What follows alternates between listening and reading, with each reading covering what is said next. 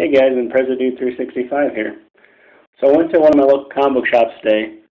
It's May 17th. It's the release of the 2017 Generation X series, where Jubilee is the leader. This is the regular cover. Then I picked up the 1 in 10 corner variant cover. Grabbed another one of that same cover send off, and get graded, try to make myself some money. Then I got the 1 in 15 team variant cover.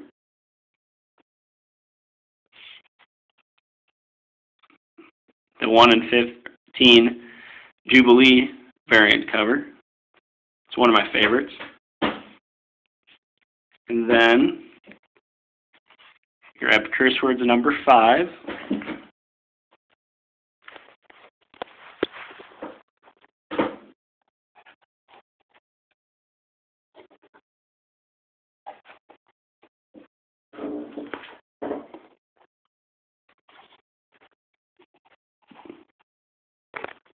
And Super Sons number four with the sketch variant cover.